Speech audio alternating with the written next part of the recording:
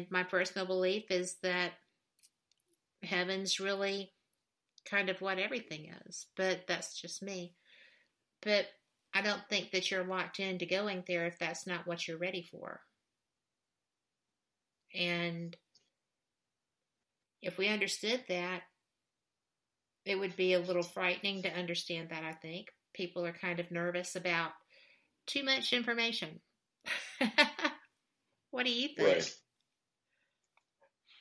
Uh, absolutely. You know, one of the, the big questions that I have is can you define what a ghost is? There you go. And we all have our thoughts of what a ghost is, but with all honesty, there's no definition because it's unknown. Right. I are we really truly are we really truly communicating with the spirit of a deceased loved one? I've had experiences where I believe 100% yes. But is that because they are still on this earth, roaming freely to where we can't see them physically? Or is that because they've left this earth and they've went to another realm of existence that could be a parallel universe where we're both vibrating at the same time and we're communicating to them on another version of Earth where they're still alive. That's something that is truly a very unique possibility. But we don't know that. There's no way that we can find that out because we don't have the equipment, we don't have the technology to be able to compare those. What Can we have that? What yes. do you think when you bring the string theory in? Because it does explain spontaneous experiences, right? right. But I don't right. see I mean, it explaining residual hauntings. Uh, well, why why couldn't it be? I mean, why? In, in in string theory, also, I think it could kind of combine that with the ability of time uh, displacement. So if there's such a tragic event, let's just say, for example, like the Titanic, if that is uh, such a unique event that affects multiple universes, then if you're at that same scenario or same location and then it's vibrating at the right frequency, the lack of a better explanation, um, why couldn't that explain a residual haunt? To leave a stain well, on time itself. I'm- because I think that string is more random. That was my chair. I apologize, but the I've always considered string to be a much more random experience, theoretically, obviously. Uh, I agree with you. It is there is a lot of randomness in string theory, but at the same time, there's the unknown of string theory. What is the constant of all? you know, higher intelligence, God, you know, dark matter. There's so many things that we don't know or understand that we even really try to understand that could be affecting them. So those unknowns would, leave it wide open. That's why I would just so love to go and talk to the people at CERN who are trying to achieve some of this. I, don't you think that would be a great conversation? what have you seen while you were yes. doing this? I just. Abs- they're the only people. I think, yeah, I do think it could be pretty great. Yeah, but I mean, they're uh, the only people you know, that might know. Go deep enough into string theory, it's just it's as incredibly complicated as parallel dimensions, and it's as incredibly simple as if we really think we're the only one, wow, we're idiots. I agree because there's no way. There is too much. Yeah, even if you start talking about ufology and life on other planets and stuff, it just will blow your mind because how do we know that all of these exoplanets that are being discovered don't each have their own creation story and their own Bible and their own experiences? With their God. So they they absolutely could. And you know what some people call God, others will call science, others yeah. will call the flying spaghetti monster in the sky. You know, with yeah. or without. You're right. I'm not judgmental of any of them, as long as they realize that others are entitled to their belief system. Yes. And if their belief system is that they don't have a belief system, well, that's still their belief system. And that's it's what they have a right to. Yes. There's just more than us, no matter what you call it. Let's put this in a perspective on something that we can all grasp here on Earth. You know, the Amazon rainforest is vast, even with its deforestation, but that's another subject for another time. Um, True. But in one square in one square mile of the Amazon rainforest, there's over two and a half million different species of insects. That's in one mile of the rainforest. Yeah. So if we put that on a much broader scale of Earth, galaxy, we're insane to believe that we're the only intelligent life form ever. And it's also insane to believe that that it doesn't come into play that yeah, they don't have to be that much more intelligent than us. They just have different nope. evolution. And, and where we have focused on some things, then they've focused more.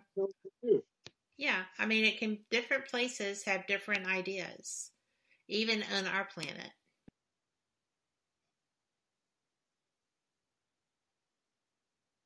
And again, I use that term intelligent pretty loosely because well, yeah, what, we've done you. ours. But yeah, yeah, we might not be the best species all the time. well, you know, we're the only ones that go out and actively destroy our environment. So I would agree that we are not the most intelligent species at all times. And it's sad and it's tragic. And, you know, if you don't laugh about it, you're going to cry, right? But, and you do what you can to help, but it sure does feel like you're yeah, flinging the water out of the boat by teaspoons. Yeah, yeah, quite right. That well, we have just, we yeah. well, we have definitely gone down a rabbit hole here, and we are a little bit late for our break. We will be right back.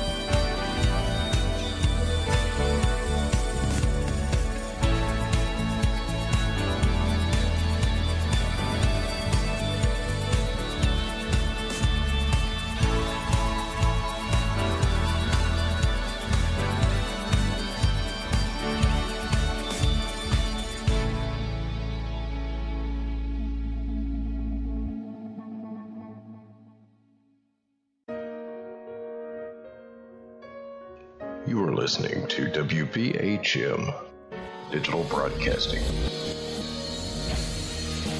The best in paranormal talk radio.